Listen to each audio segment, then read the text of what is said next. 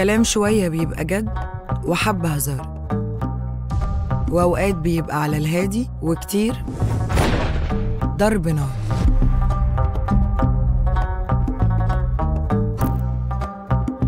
ضيف النهارده كان مدافع وتد للأهلي والدراويش وسيد البلد. رفع بإيديه بطولات مع الأهلي أكتر من أندية كتير. حيادي كمذيع وصريح كمحلل.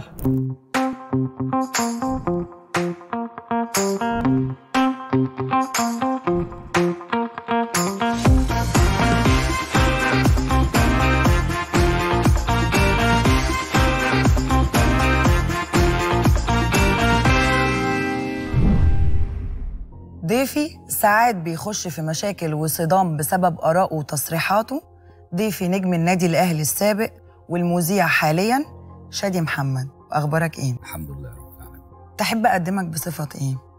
لاعب الأهلي السابق ولا المحلل الرياضي ولا مقدم البرامج؟ آه الأفضل بالنسبة لي كابتن النادي الأهلي التاريخي أنت بتحب اللقب ده؟ طبعا من شرف. آه كباتن النادي الأهلي المعروفين اللي حققوا إنجازات وبطولات أسماء رنانه أسماء علم على سبيل المثال الكابتن صالح سليم الله يرحمه كابتن محمود الخطيب كابتن حسن. حمدي كابتن آه، هادي خشبة وليد صلاح الدين. إبراهيم حسن حسام حسن اسماء. كابتن مصطفى عبده مش عايز أنسى حد كابتن اكرامي لما تبقى وسط الكوكبة دي كلها واسمك يبقى موجود وسطهم ده حاجة شرف ما بعده شرف يعني. ليه ما اعتزلتش في الأهلي؟ والله أنا كشادي الجماهير عارفة الموضوع ده وده من أكتر الحاجات اللي آه، في كرة القدم في المشوار كله اللي فيها إزعاج بالنسبة لي يعني بصراحة كنت أتمنى أختم حياتي داخل النادي الأهلي بعد التاريخ الكبير جدا مع الجيل اللي كان موجود إيه اللي منعك؟ الإدارة. هو قرار كان من مجلس الإدارة. هما اللي قالوا لك كفاية كده؟ ما قالوليش يعني بلغوني كان النادي بصدد إحلال وتجديد في الفريق. فأنا حسبتها حسبة تانية خالص. ال- حققت كل حاجة عملتها. إنجازات بطولة أفريقيا سوبر أفريقي كأس عالم للأندية. كان السن لسه مش الكبير قوي كنتش لسه كملت 30 سنة. وكنت شايف من وجهة نظري أنا لأ لسه عندي أقدمه خصوصا اللي أنا بحسبها حسبة تانية اللي هي فكرة آه، كان ال season ب 52 مباراة في السنة فكنت لاعب حوالي 48 أو 49 مباراة ما غبتش غير ثلاث مباراة للإصابة أو إنذار. طبيعي إن أنت تكمل بالظبط أكتر ولكن آه، عليك اللي أنت طول الوقت تحترم مجلس الإدارة وتحترم قراراته اللي موجودة. وقلت لا يعني أكمل. لما كملت ال- الدنيا كانت أصعب بالنسبة لي لأن ثقافة النادي ندمت. مش هقول ندمت أنا ما باخدش قرار وأندم عليه ولكن آه، كنت أتمنى تمني إن أنا أكمل وأختم حياتي داخل النادي الأهلي لأن الثقافة مختلفة. ثقافة الفوز طول الوقت ثقافة البطولات هي موجودة في النادي الأهلي مش في حد تاني. فكان ضغط عليا أكتر من إن أنا اخرج والعب في حتة تانية لأن أنا فعلا آخر حاجة بفكر فيها انت خسرت إيه اما لعبت بره النادي الاهلي؟ ولا حاجة. التاريخ محدش يقدر يمسحه الصراحة يعني. في علاقتي محترمة جدا لغاية النهارده أكيد. خسرت بره النادي الأهلي. خسارتي للنادي الأهلي اللي أنا كنت بلعب مباراه ضد جماهير النادي الأهلي كانت صعبة عليا قوي قوي قوي فوق ما عقلك يتخيل أنت بتتكلم في حتى الروابط آه، نشأت في, في وجودي ككابتن للفرقة. فأنا أنا من الشخصيات اللي عارفة أسماء الجماهير اللي بتقعد ورا الجون وبحكم العدد السنين اللي أنا قعدتها واللي قاعدة في البطولات اللي. أنت أخدتها. معاهم طبعا فلما مشيت كانت صعبة عليا قوي إزاي تلعب ضد الجمهور ده اللي صنعك وهو صنع معاك تاريخ كبير جدا لكن في الأول وفي الآخر لازم كلنا نؤمن إن قدر ربنا والرزق لما يتوقف بمكان خلاص سنة بس أنت الحياة. خسرت إن أنت تبقى في النادي الأهلي بشكل فني أو إداري زي سيد عبد الحفيظ وائل جمعة. مش هقول الكلام ده صح بنسبة 100% لأن رجوعي للنادي الأهلي بعد ما مشيت هو مجلس الإدارة خيرني وقتها ودي من الكواليس اللي محدش يعرفها كتير. كان بتمسك في قطاع الناشئين عمل إداري مثلا أو آه، حابب تعمل أنا يعني خيروك بين الاثنين آه فأنا قلت لا لازم أ... أ... لسه صغير قلت لسه أروح ألعب 3 4 سنين كمان. آه لكن ال... ال- الكلام ال... عشان في ناس بتقول فعلا الكلام ده اللي أنا ليه مش موجود في العمل الإداري؟ لا أنا رجعت من أكبر باب داخل النادي. قناة النادي الأهلي قعدت فيها وقت كبير جدا. كنت التوك شو الرئيسي داخل القناة أكتر من ست سبع سنين. فده رجوع بتخاطب جماهير النادي الأهلي في كل مكان لأن علاقتي بالنادي الأهلي مش علاقة مناصب. علاقتي بالنادي الأهلي علاقة نجاحات وبطولات وحب وعشق لجماهير النادي الأهلي وتاريخ. خروجك من قناة النادي الأهلي. امم كان سببه إيه؟ انت عايزة إيه. عاوزة أعرف. في أكتر من رواية. أنا مش عاوزة أقول الروايات اللي عندي أنا عاوزة أسمع الحقيقة من عندك. دايما بقول كده لما بتبقى موجود في أي برنامج. لازم تتسأل أي حاجة ما تسألش. أنا ما سألتش حضرتك إلا أسئلة ولا فريق العمل صح؟ ف فده من ضمن الحاجات اللي كانت بتقال فيها كذب كتير جدا. أنا في الانتخابات بتاعه النادي الأهلي كان في اتنين آه، عاشقين للنادي الأهلي كان المهندس محمود طاهر وكان الكابتن محمود الخطيب. قعدت مع مين أكتر داخل النادي الأهلي واتعاملت أكتر مع مين؟ الكابتن محمود الخطيب. دي الحقيقة. و... وكان اللي ماسك رئيس النادي الأهلي وقفت ضده بعد كده. ما أنا هقول لحضرتك مش وقف ما فيش حاجة اسمها وقفت ضده كان وجهة نظري اللي أنا مع المهندس محمود طاهر آه نازلين انتخابات اللي هو يكمل كعادة النادي الأهلي قعد أربع سنين فدايما يجي وده تاريخ النادي الأهلي مع رؤسائه اللي أنت ادي الفرص للناس يكمل ال- الحاجات اللي هو عملها عشان تقيم ال- المرحلة كلها بشكل عام. فلما نجح الكابتن محمود الخطيب اللي أنا بحترمه برضه وأقدره من الأدب ومن الاحترام طالما كنت ضده ونجح الطرف الثاني اللي هو الاسم الكبير لازم أنت تبادر اللي انت تقول اللي أنا من حق الكابتن محمود الخطيب لو في حد أفضل أو حد هو شايف من وجهة نظري وأشيل الحرج من عن المسؤول اللي انت تقول شكرا ده من الأدب. وهخدم النادي الأهلي من بره أكتر من جوه وده أنا بشوف ما فيهاش نفاق ولا رياء على قد ما هي اخلاقيات ومبادئ النادي الأهلي الحقيقية. اللي انت تبقى موجود في منصب تشتغل أو في أي شغل أنت تقف مدافع بكل قوة. أما تبقى بره تبقى بنفس ال- القوة بتاعتك. ليه؟ أصل آه، حبك أو عشقك للنادي الأهلي مش بالكلام. اللي أنت تفضل تحبه طول الوقت في منصب موجود أو مش موجود في منصب. هسألك سؤال بس هاخد إجابته بعد الفاصل. ليه ما اشتغلتش مساعد مدرب أو مدير كورة في أي نادي غير النادي الأهلي؟ فاصل. ونرجع تاني.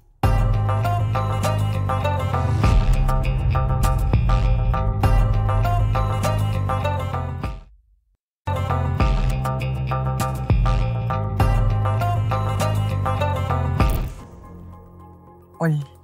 نعم. الإجابة. الإجابة أنا ضد كل صاحب بالين كداب ده كده في ناس كتيرة كدابين. ده ده بيا بالين وثلاثة بصي وأربعة. أنا يعني عشان أكون أمين أنا ماليش دعوة بحد ليا دعوة بنفسي. نفسي اللي هو أنت لما تاخد حاجة تقدر تركز فيها تنجح فيها ده مجالك. مع مع لو عايز تشتغل حاجة تانية لازم تدرسها. تدرس إدارة مش الفهلوة مش بالحب مش بالعلاقات دي مدرستي يعني هيجي يوم إن شاء الله وده كل واحد بيرسم لنفسه الرسمة صح أو كل واحد بيعرف قيمته فين آه، انت اخترت العمل الاعلامي. ما ينفعش ابقى مدرب أروح بالليل ادرب و... ولا الصبح ادرب وبالليل اطلع في البرنامج. ما ينفعش أروح عمل اداري وبالليل اطلع في البرنامج. أو أروح ادرب واطلع في الراديو واطلع في البرنامج. مش كل حاجة مش تقدر تنجح. مين بيعمل كده؟ كتير كتير قوي بيعملوا كده. وفي الآخر بيبقى معرض للنقد هنا والنقد هنا والنقد هنا. دي حقيقة. لكن آه، كتدريب لا أنا أنا مش من الشخصيات اللي بتحب التدريب لأن أنا ما برفعش سماعة التليفون على حد عشان امسك أنا أشتغل بتاريخي أشتغل بقيمتي. واسألوا أي حد في مصر لعيب كورة سابق قديم بيخاف بيخافوا أحيانا يتكلموا. الحقيقة اللي عشان يشتغل في المنتخبات لازم يبقى عنده علاقة باثنين ثلاثة أربعة بمجلس الإدارة. أو بالفهلاوه أو بيجي كل سنة وأنت طيب بيجي بس رمضان مش هيستمر. الناس هيستمر، لا الناس. هتنتقده. والله بيستمر صدقني. بيستمر لأن في ناس قامات في التدريب محترمة جدا كأسماء ممكن تاخد فرصة تنجح هي مش موجودة في حاجة فبتقعد تمسك درجة ثالثه ودرجة رابعة رغم اللي اسمها الكبير ليه؟ علشان ما عندهوش الميزة اللي هو ملهوش معرفة ملهوش حد فأنا ما أخشش في النطاق ده. أنت مالكش ال- معرفة بحد؟ آه، خالص. علاقاتك بصي أقول بالناس لك أقول الأخرى. لحضرتك على حاجة ال- ال- ال- اللي عنده قيمة كبيرة جوه نفسه ماليش دعوة بحد. الناس ما بتبطلش كلام. لو قعدت تشغل دماغك بالناس هتتعب ولكن اللي قيمته كبيرة يشتغل حاجة كبيرة طول الوقت ما يقبلش بأي حاجة صغيرة ولا يقبل لما يكون اسمك كبير اوعى تنزله اللي انت تروح تضرب تقسم على تليفون عشان تمسك في حاجة انت حاجة حاببها. كبيرة إيه؟ نادي الأهلي بس؟ يعني لا. ما ينفعش أشتغل أي حاجة بره غير نادي الأهلي؟ إسماعيلي أشت- اتحاد. لا ما ما آه صعب. الإسماعيلي عنده ولاده والاتحاد عنده ولاده ومش مستني حق. ممكن نادي أنت لعبت في لا، الإسماعيلي ممكن ولعبت ممكن في ممكن الاتحاد. تروح ممكن يستعينوا بيك لكن ما فيش الإمكانيات ك- كعمل إداري أو آسف عمل إداري أو تدريب زي الأهلي والمنتخب مثلا. صعبة. بتواجه وليد صلاح الدين بيدرب راح راح في اشتغل الاتحاد. لا راح اشتغل اشتغل مرة مدير كورة. اشتغل. اشتغل سنة. أنا أنا أو أعوذ بالله من ومش من. ولاده. لا هدف هدفي هدفي أنا كشادي اللي أنا بشتغل في الإعلام. هدفي أنجح. هدفي أخطط البرنامج أطور من المحتوى اللي أنا بقدمه أعزز من الفقرات. اعمل فقرات إيه؟ إزاي اخدم المجتمع الرياضي. إزاي أناقش قضية وأنا دارسها كويس جدا؟ أضيع وقتي كله أو الوقت الفراغ بتاعي اللي أنا أنجح في حاجة واحدة. لكن أروح أفكر في خمس ست حاجات وما أنجحش في ولا حاجة طب أنا عملت إيه؟ مع مش هقولها لك بصراحة كده والكلمة دي يعني برضو مش كتير هيقولوها. مش كل لعيب كورة يبقى شاطر اداري شاطر ومش كل لعيب كورة آه، آه، آه، مقدم برامج شاطر. ومش كل لعيب كورة مدرب شاطر. شوف انت بتنجح في إيه وروحه فهي مش مش انت شاطر في مش إيه أكتر؟ سله مش سله مش سلة تروح عايز تجمع كل حاجة وتفشل في كل حاجة. ده وجهة نظري انت شايف انت شاطر في إيه أكتر؟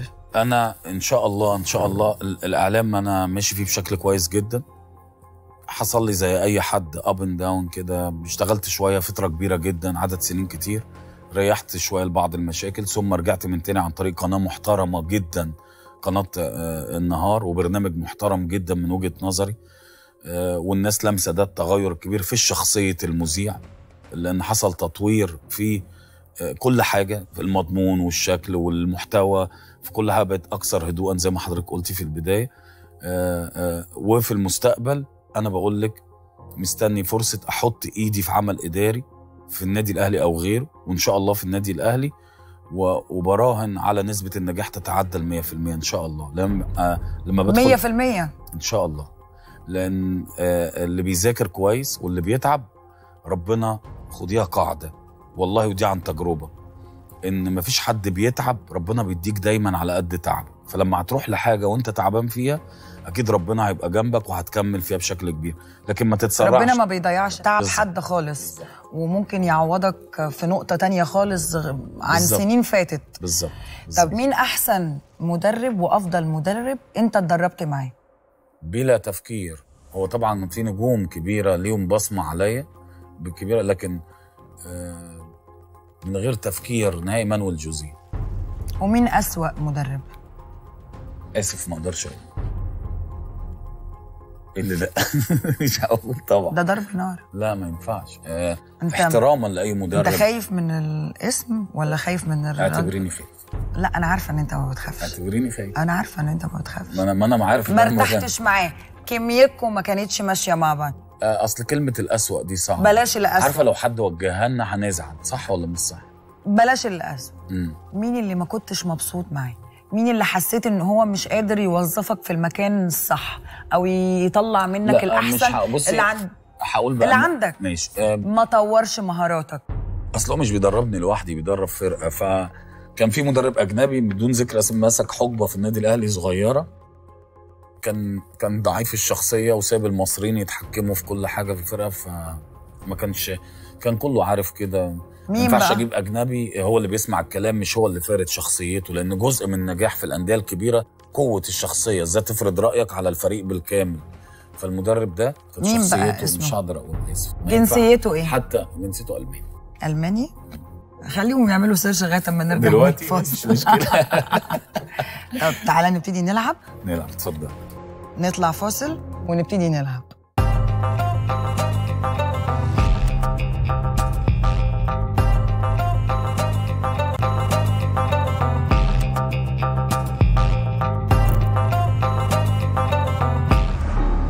جاهز نلعب أول لعبة؟ اتفضل. تحت الكوباية حكاية. الكوبايات دي فيها عصير. طعمه غريب. مم. تحت العصير في كارد. الكارد فيه سؤال. عاوزين نقوله بصوت عالي هنجاوب عليه ونقول حكايته. مش عاوزين نجاوبه هنقلب الكارت نشرب ونشرب العصير للآخر. يعني للآخر. للآخر. مش هندوق ونسيبه. ده إجبار ده. ولا إيه؟ ماشي. يعني بقول لك نفس اللي حصل مع الضيوف كلها. بسم الله. اي أي سؤال؟ زي ما أنت عاوز. بس تعالى نمشي بالترتيب. حاضر. اقراه لو عايز تقوله بصوت عالي قوله بصوت عالي هنجاوبه. اسم إعلامي رياضي بتحس إنه متلون وملوش مبدأ. أنت كده هتجاوبه. مم. ما أنت كده هتزعلي مني ناس. يعني أنت جاي ضرب وأنا نار. مش عايز أزعل مني حد بجد. هو من ناحية في في. نصيحة؟ إن أنت تقول أسماء. لأن أول عصير ده يعني ما أنا هقول لك على. حاجة. أنا هقول أسماء. هتجيبوا الضيف. هيبتدي يهاجم لا لا لا. قول لي مين أنت شايفه متلون. اللي أعرفه إن أنت زي القطر. مم. إيه اللي اتغير؟ أنا هقول على واحد. ممكن ممكن أقول واحد. زعلان منه شوية. مين رغم اللي هو صديق بعيد بقى عن الإعلام والكلام دوت أنا في واحد زعلان منه لأنه ما ينفعش يبقى فيه ضيوف وقعده الإعلامي آه ليه صفتين جوه البرنامج ده وجهة نظري. أنا وجهة النظر الأخرى في عدم وجود الطرف اللي بيتغلط فيه؟ ده ده ده قلب بيه إعلام مع احترامي للجميع بقى. اللي أنت حد بيغلط فيا دورك مش تضحك. يعني إيه بتضحك؟ مم. حاجة غريبة جدا.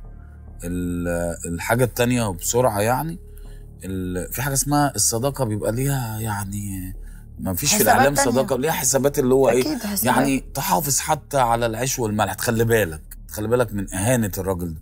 فأنا في أحد الحلقات زعلان من خالد الغندور كده ده ده زعل ماليش دعوة بقى بتلون وبوضح أهو آه، كويس جدا.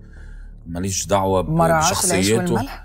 آه في في حاجات حلقات كده لا عيب عيب عيب تحصل معايا خصوصا اللي إحنا قربنا من بعض وقت وفي احترام متبادل فما ينفعش يتغلط فيا وتبقى بتضحك. مش أنا الشخصية دي خالص فأنا رعيت العيش والملح اللي أنا عملت نفسي مش واخد بالي. بالنسبة لي ما ينفعش أرد ليه؟ لأن دايما في مرحلة في حياتك آه، آه، بيقول لك الصمت لغة العظماء. ده دايما الصمت لغة بالظبط. فلما تسكت توجعه أكتر. لكن لو كلمت وعايز كده عشان بدل ما خمسة يشوفوه فالحمد لله دايما براهن على جمهور الأهلي في ظهري ومعاي. فهيبقوا ملايين. فخلي الخمسة يشوفوه وانت اسكت. يعني تعال على نفسك شوية. ودي مدرسة آه، محترمة جدا. لقيتها بتجيب معايا شغل كويس جدا.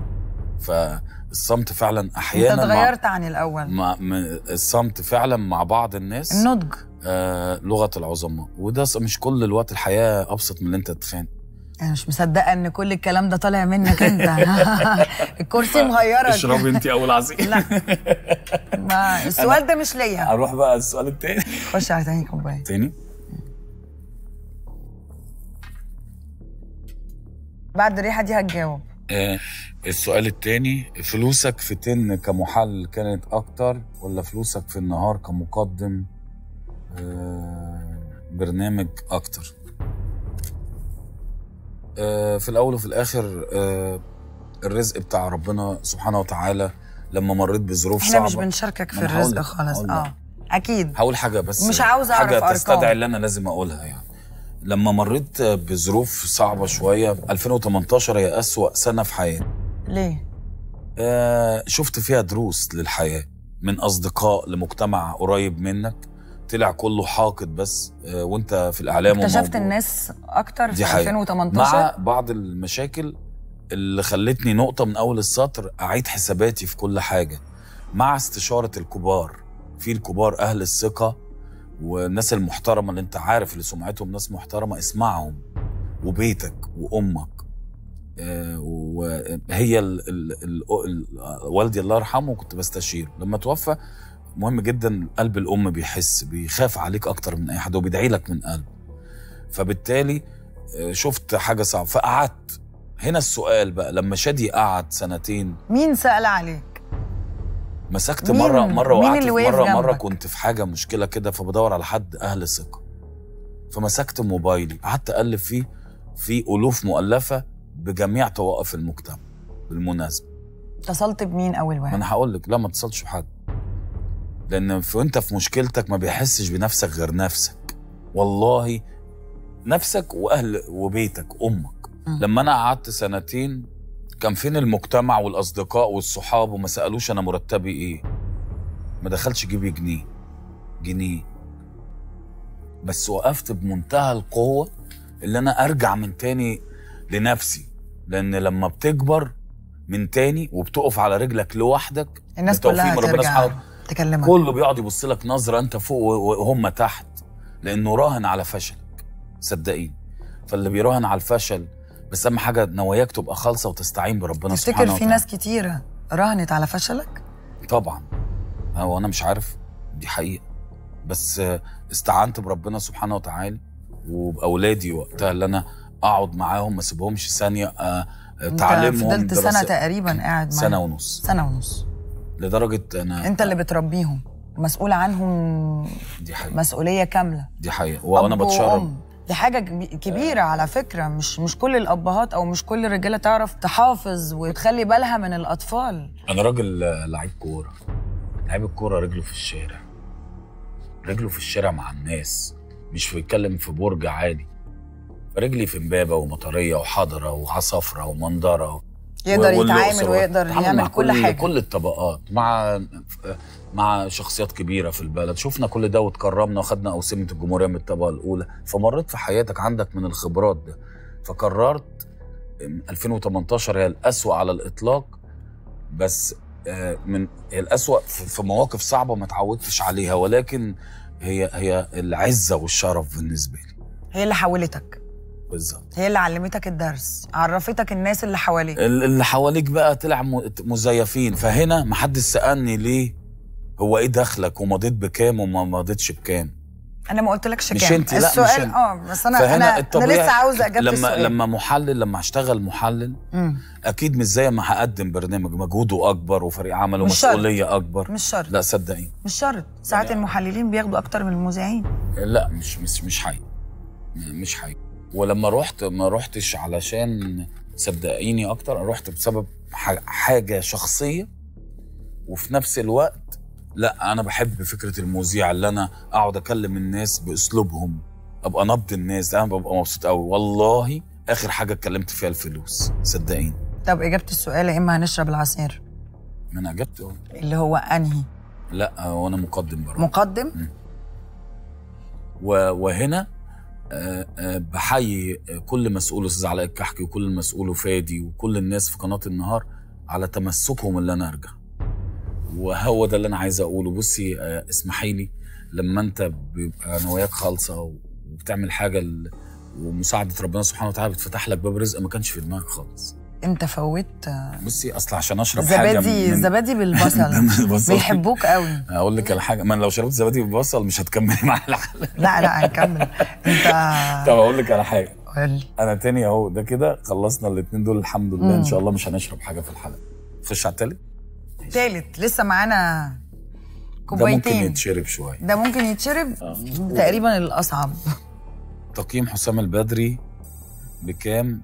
في المية آه. كمدير فني تقيم حسام البدري مم. كام في المية آه سواء أهلي سواء منتخب سواء أندية لا. سواء أهلي كابتن حسام حقق بطولة أفريقيا في وقت صعب جدا هقيمه كل حد يبقى ليه أخطاء عيوب وسلبيات و... وإيجابيات فهديله 90% 90% في مشواره مع النادي الأهلي حقق بطولة أفريقيا في وقت صعب جدا جاب البطولة من خارج الأرض آه، ومع كسب المنتخب.